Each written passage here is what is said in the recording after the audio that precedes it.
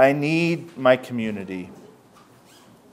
I need you all in order to be what God wants me to be, to do what God wants me to do.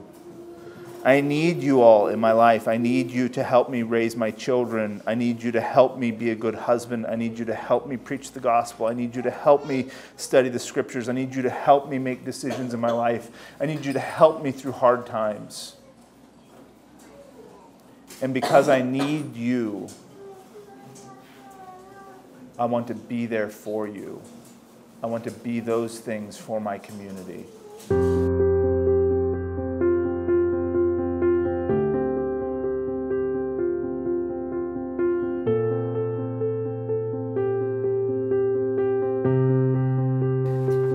Well, I've been I've been speaking through um, this Followers the Way 101 series on the distinctive ideas that brought us together in Boston, and I'm going to continue that. I think this is the third one in our series. We did the gospel, and then we did um, Sermon on the Mount obedience, and today I want to talk about um, community. I've, I've talked a lot about community since we've been here in the last 10 years. Um, it was a central idea for, for why we came together. When Finney and I made plans to come here, um, we spent a lot of time talking about the value and the importance of community. It's been an important part of my Christian experience for, for quite some time. Um, so I want to just start at the beginning. Some of this you may have heard from me before, but I think we'll, we'll go there again anyhow. Um, the word community is, is there's a, a set of words around them, and they all come from this idea of common union. Communion is the common union, and a community is a common unity. Like it's what brings people together and makes them one thing. And you know, there, I don't hear it quite as much nowadays, but five years ago in pop Christianity, there was a lot of talk about community. I know it still happens. But the word community means different things to different people. And I'm not critical of that. It's okay. I use the word community in different contexts for different people. So, so my community is the people that I live with that are close to me that, are, that we live in a, in a close geographical proximity, but this is also my community, the people that I commune with, and my community is also the neighborhood that I live over by the train in Malden. That's a community, and, and the Boston area is a community. So the word community can get bigger and bigger. And the bigger it gets, the less it means, right? Like there's a community of America, there's a community of Western civilization. But the farther out the community gets, the less it implies about who we are that are in it. There's more uh, of a range of experience the broader the community becomes. The reason, the reason I, so I have a list of things that I want to cover in this Followers Way 101 series. And I'm trying to do them in some semblance of order. And the reason that I picked to talk about community today is because I think that community is a direct outflow from our ideas about the gospel and what it means to be God's people. And what I mean by that is that there's when we, you know, when we talked about the gospel, we made the claims that the gospel at its at its core element is the proclamation of Jesus as God's king over the nation of God. And that these real political implications have a lot to do with what the gospel invitation is. And, and if we begin our if we begin defining our terms about the gospel as the nation of God, there's a couple of major implications that follow. One is that Jesus, as a king, makes his law and his domain and his rule. That's all implicit. I, I, was on the phone. We had a call yesterday, some of us, and Yash was on that call. And we were talking about, about um, this, some of these kingdom principles and the, the gospel of the kingdom. And, and his testimony on that call yesterday, I hope he doesn't mind that I quote him, but he said, When I first came around Followers of the Way, I was wrestling with all of these one off issues. Like, how do I feel about non resistance? And how do I feel about head covering? And how do I feel about this? And how do I feel about the other thing? And each of those was something that he felt like he had to kind of wrestle through as an idea in and of itself. And he said, in retrospect, it would have been so much more healthy for me to start just with Jesus as the king of his people and the kingdom of God. And then it implies so much about my need to follow him and do what he says. Like, I'm not trying to decide about what I think about an idea. If my initial if my initial entry into the kingdom of God is Jesus is my king, I'm going to do what he says, I'm going to go where he says, I'm going to be like he says, then when all, all I have to be convinced of is that this is what Jesus says. And then I can say, okay, well, story's over. Like, that's it. That's, that's what I'm supposed to do. So those implications are really important. I think it's why it's worth arguing about what the gospel actually is and why it matters. So these implicit ideas that Jesus is, is the king and he has a right to tell us what to do and how to be, that's one major implication. But the second major implication of the gospel of, of the kingdom is that it de individualizes the premise of the gospel. What I mean by that is that I am not at the center of the gospel. You are not at the center of the gospel. Who is at the center of the gospel of the kingdom? Jesus is at the center of the gospel of the kingdom. The gospel is about him, it's not about me. And that is an incredibly important idea as well. Along with that idea that the gospel is about him as the king, establishing his nation on earth in every kindred, tribe, and tongue, is that I am joining myself to something.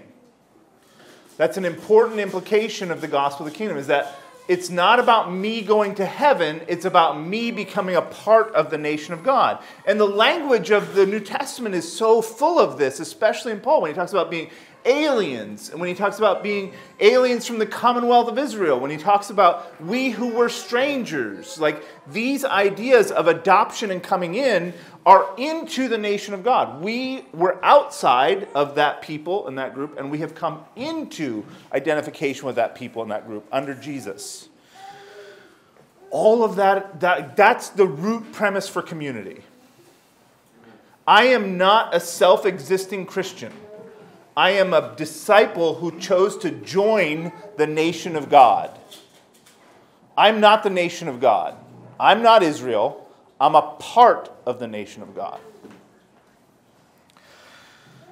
It's not about me, it's me joining something that's about Him. And that, you know, that obviously begs the question what are you joining? What does it mean to be a part of the nation of God? What are the implications of that on your life and, and how you're living and where you're living and what you're doing? What does it mean for you and I to be a part of the people of God? Well, that when I ask that question, it makes me think, well, what did it mean to be a part of Israel? What were the what defined who was in Israel? There's some very specific texts that talk about what, who de, what was defining Israel. But I, I kind of thought in a bigger sense, like what, what, what did it mean to be a Hebrew in the Old Testament? So there's certainly, uh, there's certainly a presumption, there's some, certainly some idea of we're under one government, right? Like if I'm an, if I'm an Old Testament Hebrew, we're sharing a nation state identity. We have a common government. We're either under, under the judges, that was one, we're under Moses, we're under Joshua, we're under the judges, we're under the kings. There's a common government that's happening for everyone who's in Israel. They're all subject to it. There's a common sacramental system of, of temple worship and sacrifice there's a common defense. Like we know what's our territory and what's not, and we're in, you know, we're in a struggle to continue exist as a particular people. There's common worldviews involved. One of the root identities of Israel is that they saw themselves, all of them saw themselves, as God's special people together. That's what it means to be a part of Israel. That you know, all of the conversation that God has about Israel, about choosing them as a particular people, as his chosen people. Like, you're my special group of people. I have something particular to do with you that I don't have to do with others. So, this notion of being God's special people together and heirs of his promises, like together we're inheritors of the promises of God. A part of the identity of Israel was to have rights and prerogatives towards one another. You know, there was one law for how you dealt with the Gentiles, and there was a different law for how you dealt with, with your fellow people in Israel. Those distinctions were made, that there were special rights and prerogatives. There's a, an accountability to priestly and prophetic orders, a need to come under the influence of the priests and the prophets that God had set up for his people.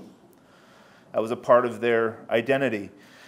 And, and there were these very special moments, and these are things that, that I think explicitly defined Israel. Two in particular circumcision and the Passover. You know, of course, that the Passover was a defining moment, not just the original Passover, but participation in the ongoing Passover was literally a definition of who was in Israel. In other words, if you didn't keep the Passover, you were not a part of Israel.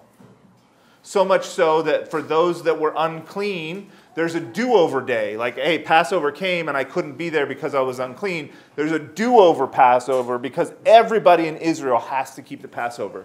And these are very, very specific identity issues, circumcision and Passover, that define, at least in part, define who Israel is. In light of all that, of everything that I've just gone over, of government, of the temple, of these common identities, of being God's chosen people, of accountability to the priests and the prophets, of circumcision and Passover, ask yourself this question with me what would it mean to be a Hebrew under all of that, all by yourself? Does it, is, is there anything meaningful about being a Hebrew outside of all of that? Like imagine you just whisk up your average Hebrew in the, in, in the time of Isaiah and you take him and you move him to the other side of the world. I'm not saying he doesn't have any identity, but how does he meaningfully be a Hebrew outside the context of all of those things that define the nation of Israel? It's unpracticable. How do you keep the Passover by yourself? How do you go to the temple when you're not at the te- when you can't have access to the temple? How do you partake in the prophetic and the priestly orders if you're not in Israel? How do you do any of that outside of Israel? It all implies a community. Everything that it meant to be a Hebrew meant to be a Hebrew together in the nation of Israel. It's about the land and the space. That's kind of the whole point to the Old Testament stories is that it's about this land and this space where we're all together doing this thing. Functionally, it's meaningless outside of the community. Well, how does that apply to how we think of the New Testament? I want to look, and you can open with your Bibles with me if you want, to Acts chapter 2. And we'll look at a few things here. In the very beginning, you know, it's funny, the, the, sometimes it's the smallest expressions that mean the most to me when I read, when I read the Bible. And right here in the beginning of Acts chapter 2 is one of them. And when the day of Pentecost was fully come, they were all with one accord in one place. I mean, that's a functional definition of community. All in one place in one accord. That's a beautiful, beautiful definition of community. So we start this chapter, they're all in one accord, in one place, and suddenly there come came a sound from heaven as of a mighty, rushing wind. And it filled all the house where they were sitting. And there appeared unto them cloven tongues like as of fire, and it sat upon each of them. And they were all filled with the Holy Ghost and began to speak with other tongues as the Spirit gave them utterance. So, we all know this is like the, the Pentecostal moment when the Holy Spirit comes upon the church. Uh, some people, you know, it's, it's right to consider this the, the, the birth of the church, the inauguration of the church. This is, this is a, a, a really prominent occasion for the first of our people. And then they, they speak in tongues. They have this experience out in public with everybody wondering. They're all amazed and in doubt in, in verse 12, saying one to another, What meaneth this? And then, then um, Peter has his sermon. And let's go down to verse 38. Then Peter said unto them, Repent and be baptized, every one of you, in the name of Jesus Christ, for the remission of sins, and ye shall receive the gift of the Holy Ghost. That's beautiful. But what I want to call attention to is for the promise is unto you and to your children and to all that are far off, even as many as the Lord our God shall call. I feel like sometimes people think I'm making mountains out of molehills when I talk about the communitarian aspects and the de individualization of the gospel of the kingdom. But right here, in one of the most pivotal moments for the birth of the church, one of the most dynamic sermons that's given under the unction of the Holy Spirit, the promise itself, what all of this is connected to, is a communal experience. It's for you, it's for your children, it's for all who are far off, and for everyone who is called. It is not, when I say it's not about you, it's about us. This is a common experience in Christ that we have. And so many things flow from this idea, right? So much of what, it becomes a paradigm with which you read the New Testament. When you begin to see, because, and maybe it's particularly stark for me because I grew up in, in, in an evangelical setting where every time the gospel was talked about, it was about me going to heaven you have a date that you ask Jesus into your heart so that when you die, you go to heaven. That's everything that I heard about the gospel for all my formative years. And now, after my experiences with Christ, I come back to the scriptures and I see it's not about me. It's, a, it's about Jesus first, and it's about us together, his people. My appeal is that community is implicit in the gospel. To be Christian is to be a part of the community of God. It doesn't make sense otherwise. And even the promise itself in Peter's mouth is not just for me. It's not an individualized promise, it's for us. Our Father, who's our? Our Father who art in heaven, hallowed be thy name. I don't even approach him in the Lord's Prayer individualistically. I come as a representative of my people, our Father. Not my Father, our Father. There's we implicit in all of these things.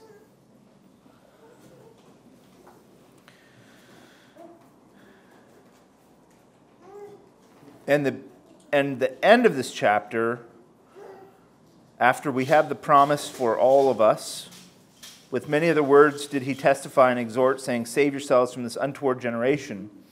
And then, in such a beautiful, beautiful example, this all becomes real. It's not just words that Peter's sharing.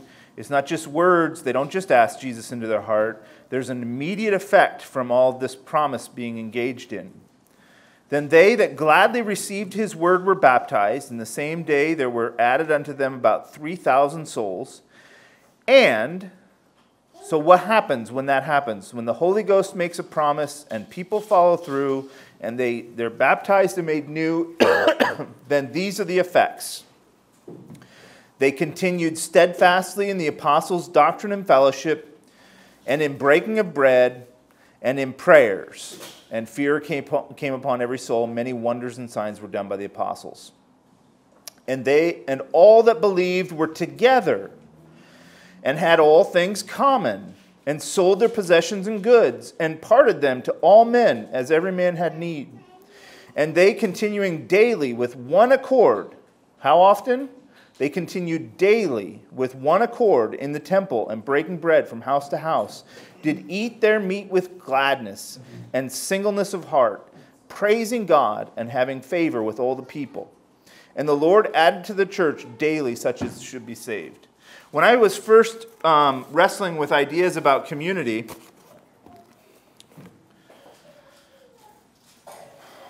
I. Uh,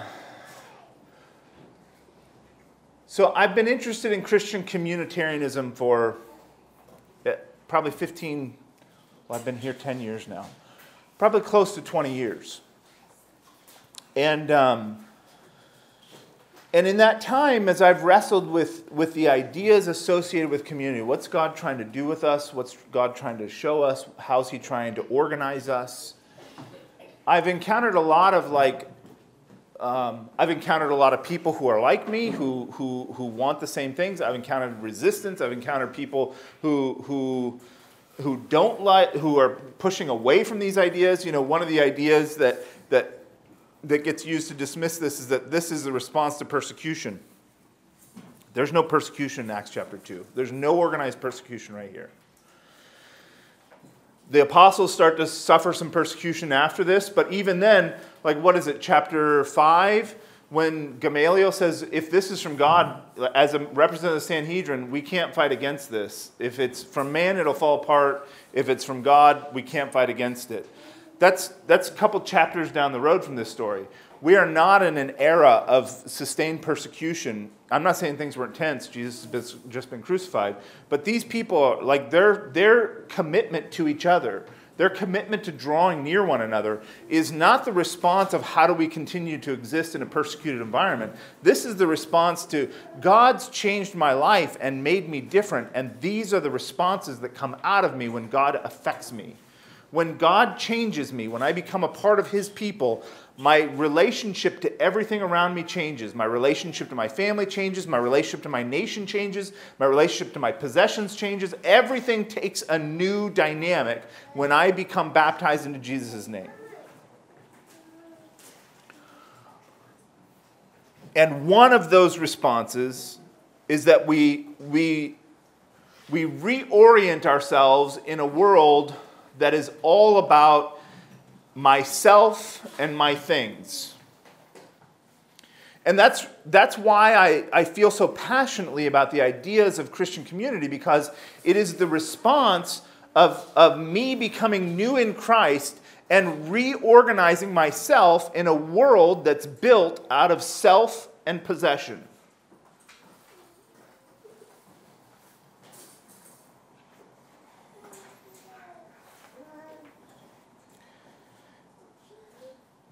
It's the tangible effects of the gospel.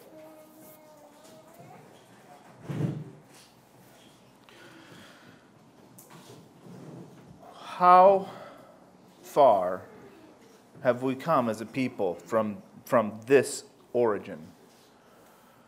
Where the church is born in Jerusalem, where the immediate impulse of people who are baptized is to cooperate and coordinate and change the relationship to the society around them. And to create this new collective community. How far have we come from these ideals? As a people, as, as modern Christians, is it implicit when someone is baptized now in our day, in our churches where we've come from? Is it implicit that when somebody goes through the waters of baptism, they're going to reorient their life in relation to their stuff and their place?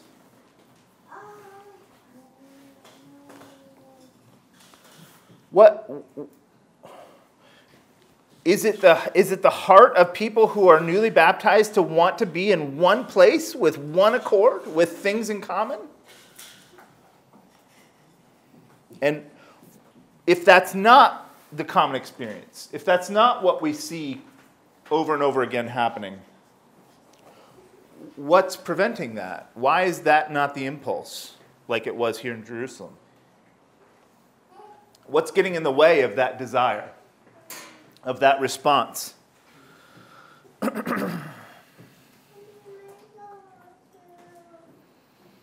I think there's, there's several things that that pull us apart. So, what I see, like, what I think of graphically is that Pentecost happens and everybody comes together. The church becomes this new epicenter. It becomes an economic center, it becomes a social center, it becomes a religious center. It becomes like the church becomes this like living, breathing organism And when I look around me in the world and the people that I've known over the years in the church and the churches that I've seen and experienced, everybody feels pulled apart into their own world, into their own job, into their own life, into their own family, into their own things.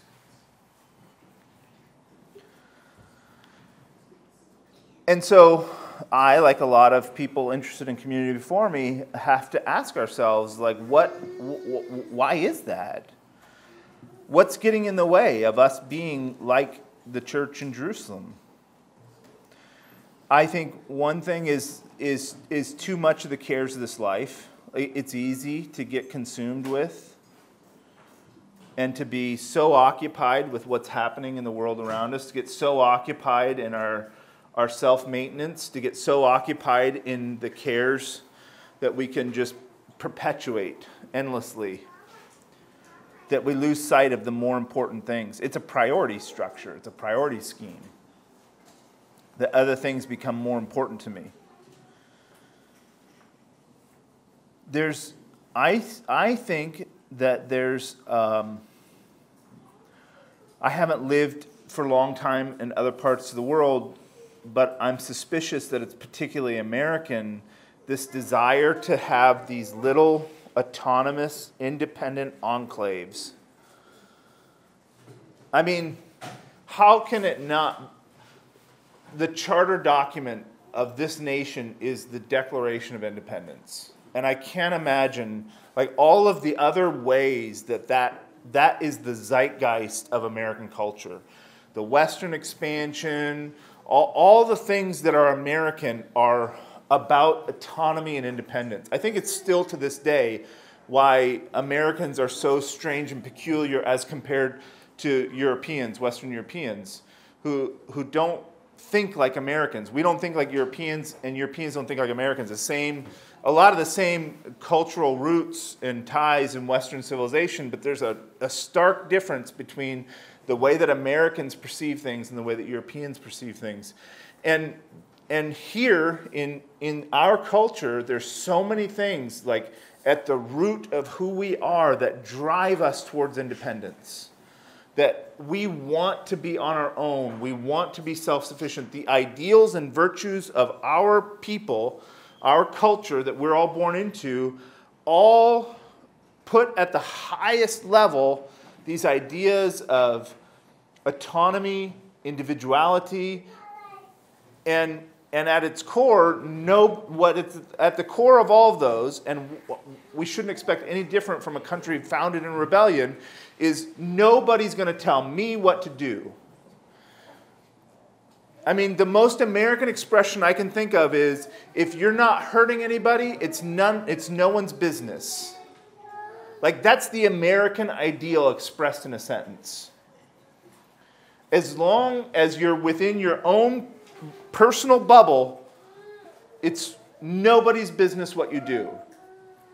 And our cultural pursuits, our religious pursuits, our economic pursuits, our social pursuits all fall into that so often, I don't want to say all, but so often they fall into that domain. What exerts autonomy? What creates independence? What, what can show the world that nobody has any control over me?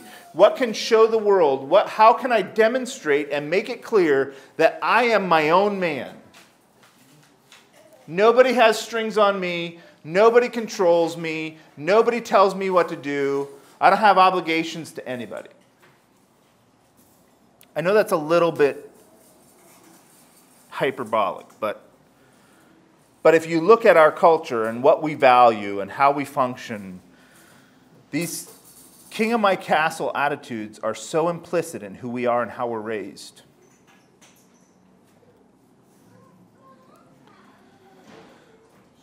The, the idea of openness and exposure and involvement and interdependence is almost frightening from the American cultural perspective. It's the opposite of what we want. It's the opposite of what we're raised to embrace. So, so when we as Americans interact with the church, we've developed, I think, socially and culturally, we've developed this attitude of like the church is something that I go to for a religious experience, and then I go back to my own life. I go on Sunday or Wednesday, I go out to church. I have some kind of religious experience. Maybe it's good, maybe it's blah, whatever. But I go to church and then I go back to the rest of my life.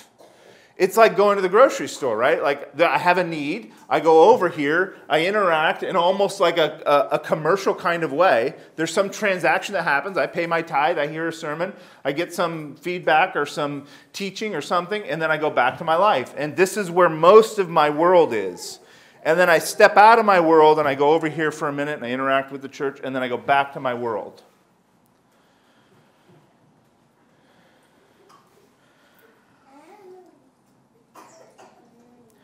How, how do you interact with, how, okay, let's play out a scenario.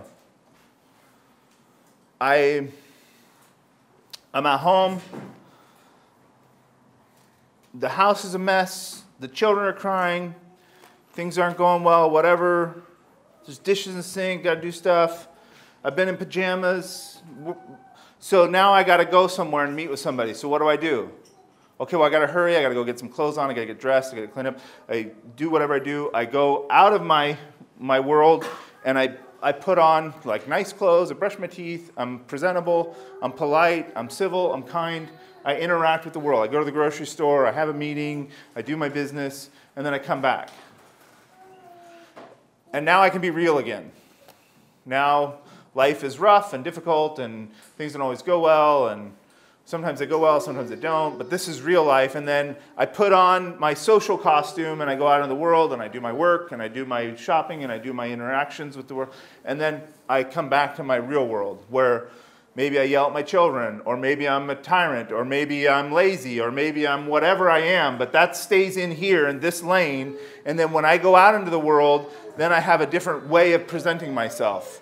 I'm polished and I'm the way I'm supposed to be, and I'm, there's social expectations on my behavior, and I, I play that game. Well, when your view of the church is that you go out like you're going shopping, well, then you put that same thing on that you go out. Like you don't go shopping in hold up pajamas, you put on some clothes. You don't go to work in a dirty stained t-shirt. You, you present you make yourself presentable. And if your interaction with the church is like your interaction with the grocery store you make yourself presentable. You go to church. I don't know how many times and I am not being critical of my parents but i don't know how many times growing up going to church you have to be there in the morning and you my parents have four children and they're all they don't know where their shoes are and they don't have their hair combed and everybody's yelling at each other and it's a scream fest to get your stuff and get out the door. Would you go going? Where are your shoes? Why aren't you doing? Everybody's screaming at everybody, and then we all get in the car and we go to church and we fold our hands and we we're at church. And we say hello and we do all of our civil posturing and we're presentable and we're a good Christian family. And then we go home and we're kicking off our shoes and we're fighting with each other and all this stuff happens. That's how it is. That's how most people experience their church life. And I don't want it.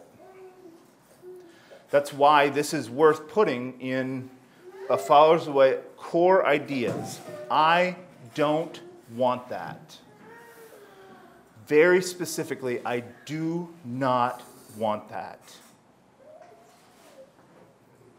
I want the church to come into my home. I want my home to come into the church. I want to bring these two worlds together. I want my life, my family, my home, and my church to all be in the same lane. I don't want to have to put on a special form of myself to be with you.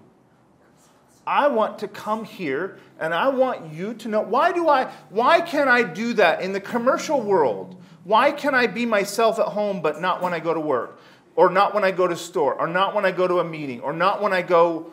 Why can I be myself at home? And what does that mean to be myself? To be unguarded? To be real?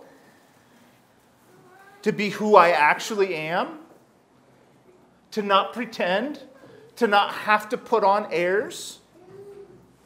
Well, we can do that with the church. We can be, this can be like home. Our interactions can be a part of our home life. This is why we're called brothers and sisters.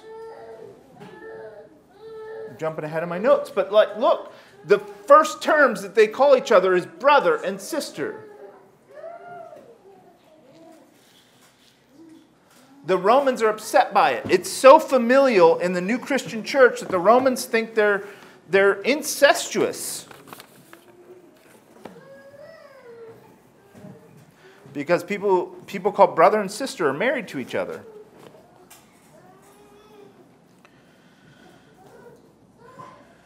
reality and honesty are at the heart of community. My first ideas that attracted me towards community had to do with, um, with economics.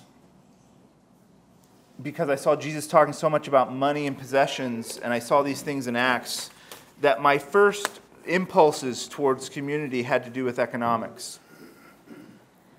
And I realized that was less and less I mean, I, I don't want to downplay that. I think economics are important. I think the way that we think about our possessions is important. I think the way that we share is important. I think the way that we care for each other is important. I think the way that we, all that stuff is important. I'm not saying it's not important. I'm saying I think there's a deeper level to discuss community that has to do with reality and honesty. Like that's the, that's the center of community the center of community is, is creating in a bigger circle what we all intuitively do at our home. The way that you're really yourself in your home, in the, in the, in the walls of your own domicile, that's what community is. And, and there's something incredibly empowering when you can expand those walls and have a people bigger than your children and your spouse that really know who you are, that really understand you.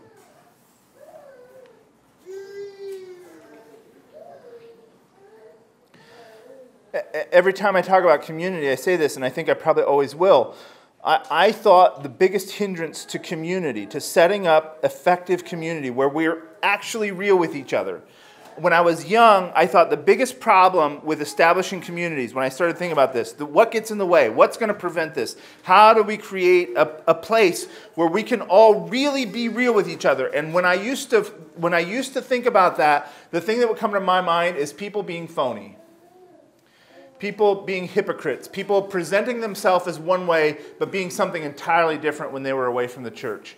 And that does happen. I have seen that happen over the years sometimes, but it's rather infrequent. What I have come to realize is that the biggest problem, the biggest hindrance, say you buy what I've already said about the gospel and community and its, its roots. What prevents those of us that accept that premise from experiencing what God actually wants us to experience in community is not hypocrisy. It's not that I show up when I'm with you and I'm a complete fabrication. I'm never this way except for when I'm with you. I, I think that happens, but it's rather infrequent. It's rather rare because it's a very, very taxing way to try to live. Most people don't have the for, uh, it requires so much to live so disingenuous it requires a lot of work to be completely fake and phony. Most people don't have it in them to do that. But what I do have a very high capacity for is when I come around you, it's not that I'm a fake me. It's not that I'm a totally different person than I actually am. But the, but the real propensity is that I'm the best version of myself with you and getting past being the best version of myself with you and being who I actually am day to day, with all of my faults and my weaknesses and my struggles and my and my weird proclivities of my personality and, and the things that make me not attractive, allowing those parts of myself to be known by you, my people, that's what's really hard. And that's why we, we have very specifically, like the Lord has started the ball for us, but as we've come together, we very specifically prioritized a time when we can be real with each other, when we can talk about what's really going on in our lives, where we can model before each other that this is the place where we talk about who we really are. And that, that's why the agape is one of the centerpieces of our community. It's the place and the time where everyone expects that we are going to really talk about who we are. Where it's okay for me to share what hurts and what's hard and what's not working well and where I fail and what I'm not good at and what I'm trying to learn.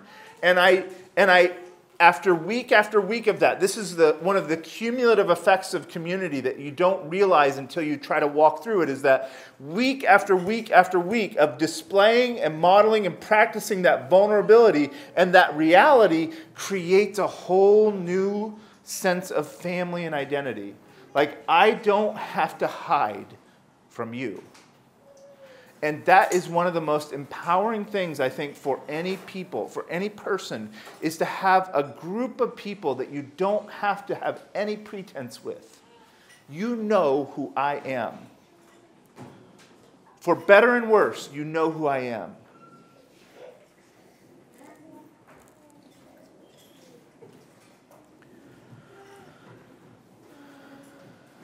Not, not the curated me, not the polished me, not the, not the me on his best behavior, not the me that, that talks to my clients, not the me that's trying to make money, not the me that's the real me. The me my family knows, the me that God knows, the me that I know and sometimes struggle with.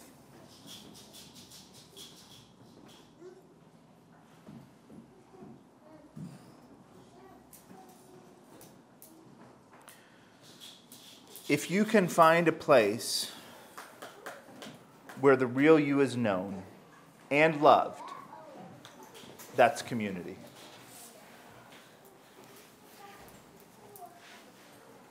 N- notice though, I said the real know, the real me is known and loved, not accepted and loved. Because I don't want you to accept the broken parts of me. I want you to know them, and I want you to help me with them. I don't want you to accept them. I want you to help me fix them. And this is something that's so sublime and elegant and beautiful about Christian community is that when I can when it's safe for me to be known, then I can get help in the places where I need help. How are you going to how are you going to get help to fix the parts of you that are broken if nobody knows they're there. Like, obviously, you can't fix it. You're you. Like, you're stuck with that. You have parts of you that are broken and that need help and need ministry. You can't, you, up to this point in your life, you have those things that are broken. You haven't figured out how to fix them yet. How, how do you think just doing that for longer is going to fix anything? You need somebody else. You need somebody else that it's safe and okay for you to be known by that can look with you and from a loving place as a brother, as a sister, say, I want to help you. I can help you with that. I, I seen that. I see that in you. I still love you. I see it in you. Let's work on it. You don't have to stay that way. And everybody grows. Uh, everybody has the potential to grow in that environment.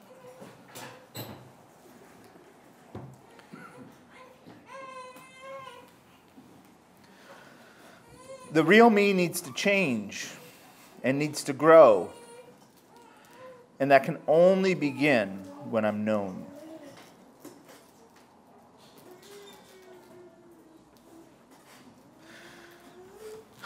That's, I mean, I think for most part, that's that what I just described there, that's not the hard sell of community. I think most people that, are, that want to be serious about God, that sounds pretty inviting. That you can be known and accepted and loved, that you can grow with a group of people who can see you for what you are and lovingly come alongside you and help you be a better person, help you be a better disciple, help you be a better spouse, help you be a better parent, help you be a better child. Who doesn't want that? I mean, everybody would say that they want that. But if you want that, then you have to be that for other people. And if, you want, and if you're going to be that for other people, it means you have to care really well for the people who are around you. And this is where it gets real. This is where it gets hard and people bail out. Or people, defense postures go up, defense mechanisms go up, and the bombs go off, and the fights ensue, and people find a way to leave. It gets too hot, too hard, too real. They think they want it, and then you experience it, and it hurts. And you pull the plug and you bail out. But if, you, if, if I want that in my life, if I want to be known and loved, if I want to grow and if I want to change, if I want to be better than who I currently am, I have to be that for you. It's like the reciprocity that happens in marriage. Like, if Erica and I devote all of our attention and energy to serving the other, everybody wins.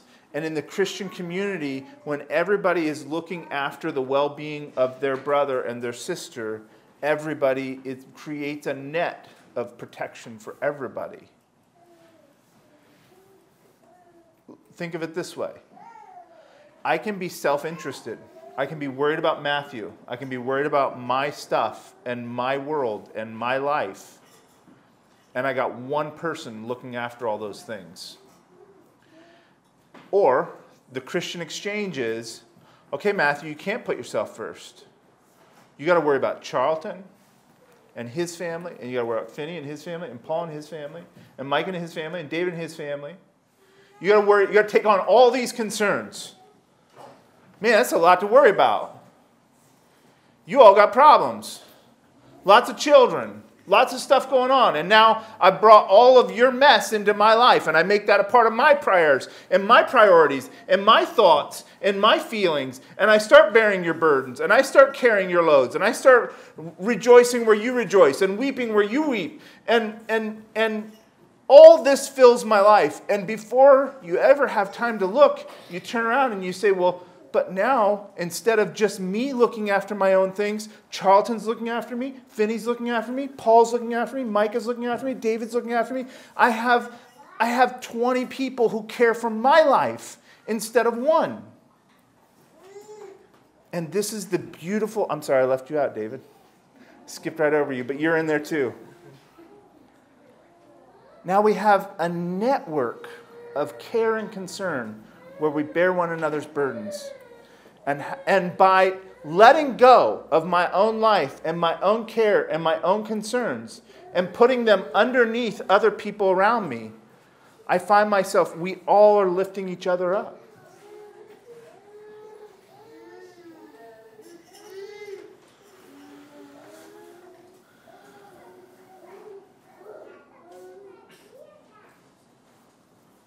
That's what, that's what the call of community is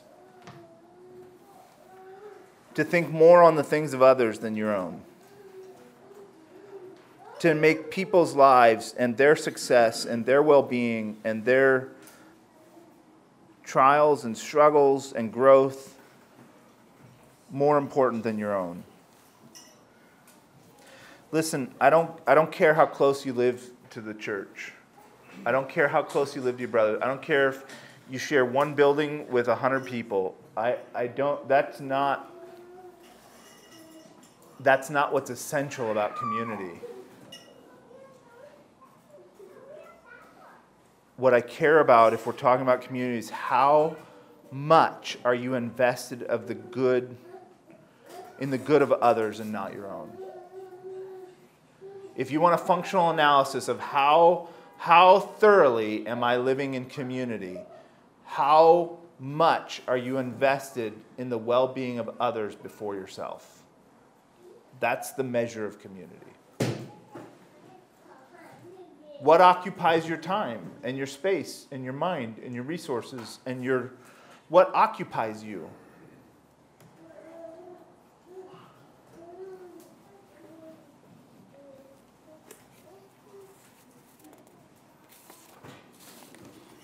That's not rhetorical. I mean that as a real exercise for each of you. What, what, where are the investments in your life into the other people that are in your community?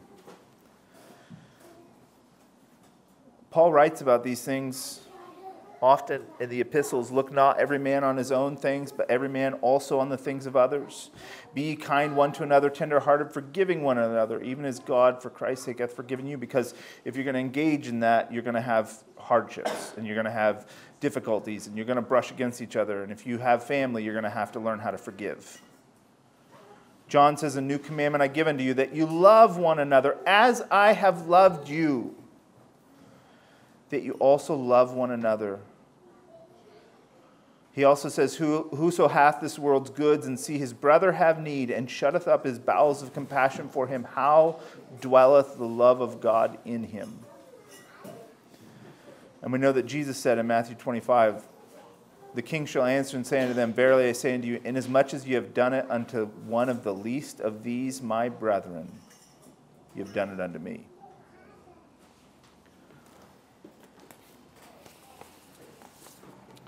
How do you, how, how's Paul tell the church to have one mind and one heart and speak with one, with, speak in one accord?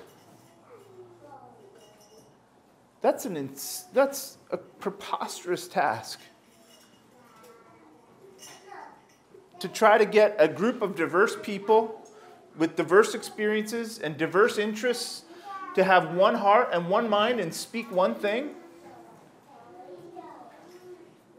unless, unless they're, they're doing that, unless they're putting other people in front of themselves, unless there's more of a investment in the community than in myself. That's an, it's, it's never happened.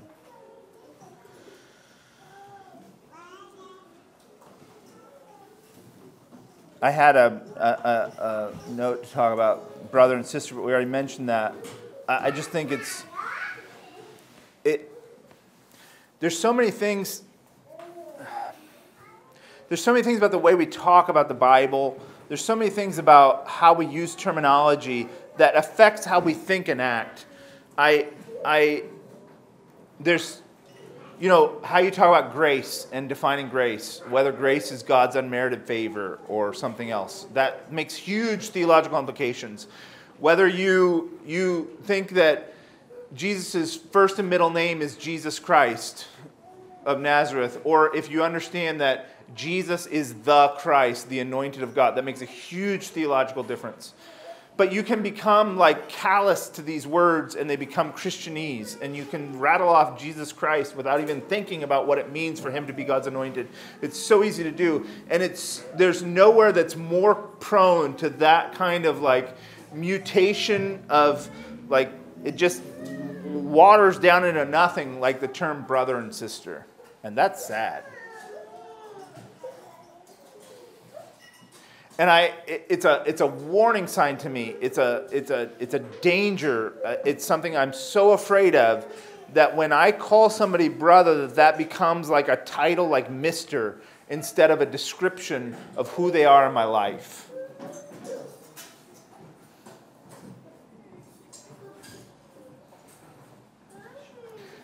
That's, that's particularly uh, where what I've seen in our circles and the people that I've run with for the last long while is that that's a real issue for the whole church broadly. But I don't struggle with it as much with men because I, I have interactions with men that are, you know, prayer meetings, brothers meetings, all these other things. But where it happens a lot is where the term sister for a man or brother for a woman becomes titular. It becomes just a title that we use. And I, I have and you, you all know me, I try to, I try to say sis to the women because it's, it's informal, because it's, it's familial, because it's not a title. I'm trying to, in my own little funny way, I'm trying to say, when I say this to you, I mean I think of you like my sister. I'm not using a title. There's a thousand ways to do that, but it's important that we do them. It's important that when, when you men think about the women in this church, that you think of them like your sisters in the flesh. Like you care for them and you worry about them and you want to care, you want to make sure that their, their life is well, that they're taken care of, that they have what they need. That you feel a sense of, of obligation to protect and watch over and help. And gender lines get weird in, in, because we believe in propriety and modesty and, and keeping things holy, it's easy to kind of get too far and disassociate. And the women in the church are way over there, and I don't really know them, and I don't really, I'm not really invested in their lives because that's woman stuff. And the women will do that, and I'll stay here with the brothers. And that's not family. It's not healthy. It's not community. We can have our cake and eat it too. We can have propriety and modesty and we can be holy people and we can we can believe all those things and keep those pro- those lines where they should be and really care about each other and really have relationships and be meaningfully brothers and sisters with each other. And it's important that we do.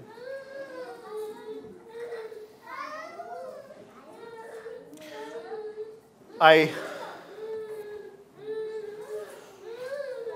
I often think of this issue of community in terms of negation. What the opposite of what I want, the opposite of what I'm talking about, is when, when your church life is defined by this meeting. The public meetings that we have, if that was the definition of your church life, this is an utterly failed experiment. I don't, I'm not minimizing the value of this time together. I'm saying this is not the definition of my church life. This is not what my involvement with the church looks like, is this meeting right here. This is the tip of the iceberg. This is just a glimpse into, into what actually my church life is about.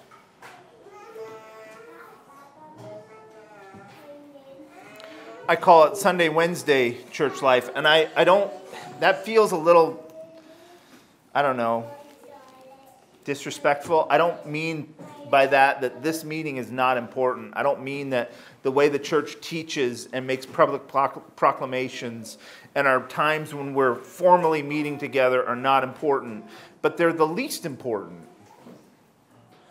Because this isn't where I build relationships. This isn't where I do personal growth. This isn't where I interact with the church as a member of a family. And I don't want to define my life with the church by these public meetings. It would never do for this time right now, this hour and a half, to be the definition of a, what, like when somebody asks you, Are you a Christian? and you say, Yeah, and this is what comes to mind. I'm a Christian because I go to that meeting, that public meeting that we have where somebody teaches for an hour. That's why I'm a Christian.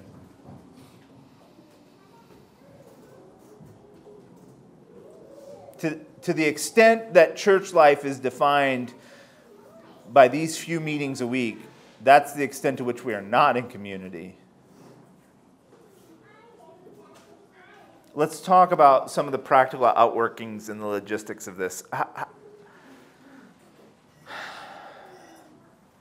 I said before, and I meant it, that I don't care how close you live to the church. That's not the definition of community. The definition of community is how much you care for other people more than yourself. That's 100% true. I will also say that it's that proximity, being close to one another, makes all of that easier. The closer we are to each other, the easier it is to care well for one another. The easier it is to be responsive to one another. The easier it is to pray together and to have the non sermon hour kind of church life that we all want. And so, and so we have always, and I hope that we always continue to encourage people to make costly and difficult choices to be close to the church. you should make costly and difficult decisions to be as close to the church as you can. I've, I've, I've made those decisions. A lot of you in this room have made those decisions. You've made costly and difficult decisions to be close to the church, and I have never regretted one of those decisions in my life. It's never done me wrong to prioritize my closeness to the church over a lot of other things. And my life has been so rich and so deep and so blessed by my ability to live in and around the church of God. My family's impacted, my spiritual vitality is impacted. And this goes to, I, I, I don't mean to say by that that we can't, we can't have meaningful community if we don't live in, in multifamily houses together. What I do mean is that the further you are away, the harder it is. If you're a block away, two blocks away, five blocks away, half a mile away, a mile away, two miles away, 10 miles away, I'm not saying it's impossible. I'm saying you got to make that trip every time you're together. And I don't. When, I, when, when we have you know, these community cl- uh, clusters where we live in multifamily, where we live in the neighborhood together, where we live within a short walk from each other, it's just not hard to get together. It's not hard to spend time together. It's not hard to, to meet each other's needs. It's not hard to, to get together because a child's sick and we need to pray, or to all of that flows easier the closer we get. And there's tons of benefit. And and the main, the main reason for, for as close as we can be is that accidental community is the most meaningful part of community. What I mean by that is the things that you never per- planned, they were never on a calendar, there was never a WhatsApp that went out and said, "Hey, can we meet at this time?" The just the the rubbing of our lives together where we run into each other taking the trash cans out or, "Hey, we have some extra food, you guys want to come up for dinner?" Or we cross each other in the driveway and happen to have a really meaningful conversation about something that's going on in our lives. All of those accidental parts that that's where you really have family, right? Like, I don't plan my interactions with my wife and my children. We just live in the same house and stuff happens. And if you do that with the church, if you just live in the same place and stuff happens, that's the best stuff of life. It's really, really good. It's not always good, let's be honest, right? Okay, we're gonna talk about logistics. It's, some of it's hard, some of it doesn't work well, some of it's a problem, some of it's why can't you would you get your child to quit leaving stuff in the driveway? That's a real part of community. But it's also a real good part of community, even though it's difficult in the moment. Just like the way you rub on each other in your own families, when your children rub on each other, when you and your spouse rub on each other. That the difficulty, if you learn to be righteous, if you learn to be holy, if you learn to use those things for the way that God wants to shape you, they become a part of the positive experience. How do I talk to my brother when I have a problem with his child? You know, there's tons and tons of people that never learn how to do that because they never need to. It's easier just to go your own way. I'd rather I'd rather us rub against each other. I'd rather us have problems with our children, learn how to talk with them. I'd rather have annoyances because I don't like the way you do this or you don't like the way I do that. And learn how to interact with each other and care for each other and love one another in spite of that. Because I don't want our connection to be about everything's roses. If you get married because you think you're never going to have problems with your wife, you're not going to have a good marriage It's not going to work well for you.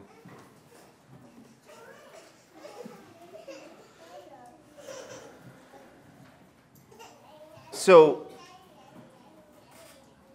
we've tried to be careful. You know, I, we knew when we came here to Boston that urban community, and we'll have a whole message on that and its rationale, but that's it's going to be difficult uh, if the church is going to make disciples. let's just have a real conversation about this if the church is going to make disciples, if the church is effective at preaching the gospel, we're going to convert and have new disciples who don't live in our in our little family clusters?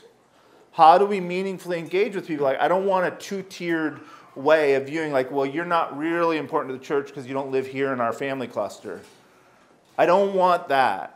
And we've, been, we've tried to be careful about our polity and the way that we talk about decisions as a church and the way that we, all, all that church dynamics, like we want everyone to have a voice, we want everybody to be equally committed, we want everybody to be involved not the, the people who live in community and the people who don't. So, so it's not like we've set up a structure where you're not really a part of the church if you don't live right underneath somebody else in the church. That's one premise. The other premise is that the closer we can live together, the better community life is. And so, what we've found over the years is that if you keep those two things where they should be, if you keep both of those premises in place, you don't have to live in the house, in a multifamily house with somebody in the church to be a meaningful part of the church. And the closer you are to the church, the better community is. People see that effect. They see the consequence of accidental community. They see how valuable it is. They, here's, here's where it happens every time you have, you have one of our community clusters and we're having a meeting or somebody came over for supper and now there's a party going on and everybody loves it and we're singing and we're praying and we're talking and everything's wonderful and somebody's looking at the clock and being like i gotta go home i gotta take the children home i gotta get my children home and they have to pull themselves away from that and drive however long and go back to their house and every time that happens you just feel like it'd be way better if you were here like what you could stay another 20 minutes, you could stay another 30 minutes, you could stay another 40 minutes if you just had to go downstairs or across the street. And you wouldn't have to pull yourself away. And those are the places that continue to sell the idea of community in, among us. Because it's valuable to be close to each other. Hebrews has two different passages that talk about that in the, in the beginning of Hebrews in chapter 3, it says, exhort one another daily. When were they getting together in Acts? Daily. When does Hebrews say we should exhort one another? Daily. Well, it's called today. Lest any of you, listen to this, lest any of you be hardened through the deceitfulness of sin. M- my access to you is protective for my heart being hardened through the deceitfulness of sin. Why is that? Why is a daily exhortation from my brothers and sisters in the church protective? Because you see my life, you see my faults, you see what's happening with me, and you can help me get off of the path of destruction. You can say, hey, brother, I know that you know that I love you, right? This isn't going to go well for you. Let me help you with this. And it keeps my heart soft from the deceitfulness of sin because other people are watching and caring for me. That's the value of community. And Hebrews exhorts us to do that daily with each other. How are you doing that daily? Again, I'm not saying you have to live in a multifamily with people, but how are you doing that? And it also says, not forsaking the assembling of ourselves together as the manner of some is, but exhorting one another, and so much the more as you see the day approaching. I need my community. I need you all in order to be what God wants me to be, to do what God wants me to do. I need you all in my life. I need you to help me raise my children. I need you to help me be a good husband. I need you to help me preach the gospel. I need you to help me study the scriptures. I need you to help me make decisions in my life. I need you to help me through hard times.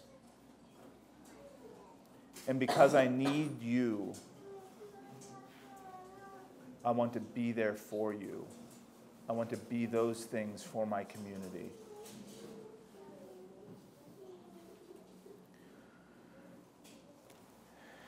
I'd be, it would be remiss if I didn't end this conversation dealing honestly with many, many people who write to me, call me, talk to me, leave comments on our material that say, that all sounds great, but what if I can't? I mean, that's nice for you guys. You got that set up in Boston, and you got some multifamilies where people live, and it sounds all very lovely. But I can't do that. I'm not at a place in my life. I don't have people around me. I don't have a faithful witness of the church. I don't have brothers and sisters. I'm all on my own, or I'm in a place where that isn't working, or whatever the case may be. There's a thousand a thousand examples of people who just don't have access to what we are very, very lucky to have. What about them? What if I can't? There's, I, I, I really only have two things to say. One is be faithful where you can. Be faithful where you can. I when I talk about this, another thing that I often mention is that when these ideas were, were relatively new for me and I was really, really gung ho about Christian community, and I was, I was, I had a church and they were good brothers and sisters. We cared very much for each other, but everybody wasn't so on board with all the communitarian ideas that I was expressing. And I was frustrated. I was like, what's wrong with you people? Can't you see this right here? and I called a friend who was sympathetic to my ideas. He lived on the other part of the country, and I was complaining to him that these stiff-necked people in my church they just didn't believe in community. They just didn't want it. They just didn't. They didn't. Whatever. Whatever. Whatever. All my complaints. And his simple and wise answer was, Matthew, are you living in community as much as you can with the people that you're with? And it struck me to my heart. Because there were things, it didn't matter if everybody embraced my particular ideals about Christian community. There was plenty of room that I had in my life at that place where I could have been more invested in the good of others than myself, and I wasn't. And that's exactly what I needed to hear. And I try to repeat that advice to anybody who asks me, What do I do if I can't have community? My answer, my first answer is always, Are you living in as much community as you can where you're at? Are you investing in the lives of people around you right now, today, tomorrow? Are you invested in other people's lives? That's the heart of community. And I don't, I don't believe that God wastes that. And I think that the, the, in large part, the reason that Eric and I have found ourselves into a place where we're in a community that's very rich and very deep and very meaningful to us is because over the years we were faithful to that call to be in as much community as we could where we were, to try to minister to others and, and care for others. No matter what our agreements or disagreements were, I want to care well for the people that I'm connected to and close to, and that's what builds community. Secondly, my second piece of advice after that is move your life when you can and how you can in the direction of, of community. Move towards community. Make what sacrifices and decisions you can to, move your life towards more of the ideal of community that you want. And those are the only two real pieces of advice I have. So I, I pray in, in regards to all this that God would, would help us live out our de- ideals, that they wouldn't be. Eh, here's a warning for, for us. I have been in community settings where, where we believe in community, where we're living in community, and we're not caring well for each other where we live very close to one another geographically. Like I can throw a stone through my neighbor's window, and he's my brother in the church. And sometimes I want to throw a stone through his window. And that it's it's it's easy to look at your life and say I've made costly decisions and I live in community and so I'm doing it right. I live in community. And so I'm, I'm fulfilling what God's asking me of these things without doing the real work of evaluating how well, how, how good am I being at caring for the people that I'm in community with? Where are the costs in my life that I'm paying to care for others? Where are the burdens that I'm bearing that I wouldn't have to if I didn't choose to? Those are the important things that we need to continue to evaluate. And don't let's not just think that because because we live within blocks of each other's homes and and we can see each other very easily that we've met the high calling of being and like they were in Acts, where we're really caring for one another and meeting each other's needs. I want the whole package. I want the real deal for us. Let's pray together. And then, David, I'll have you come. Heavenly Father, thank you for our community. Thank you for the trials and difficulties that community life have brought to some of us, and for the blessings and the grace that community has brought for us. I thank you for the men and women that I've had the privilege to live in and among. I thank you for my own place in the family of God. I thank you that I have brothers and sisters in Christ. I thank you for all of the rich things that I experience because of what you've made for us.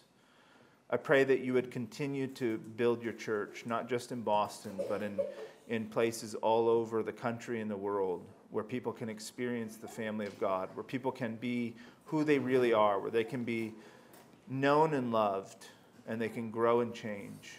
I ask for your grace, Father, among us, that we would learn to love one another well, where we would continue to make decisions to think more on the thoughts of uh, on the things of others than our own. We ask for your blessing on our community that would represent the body of Christ that we would meet each other's needs well, that we would be what each other need in Christ. I ask these things in Jesus' name. Amen.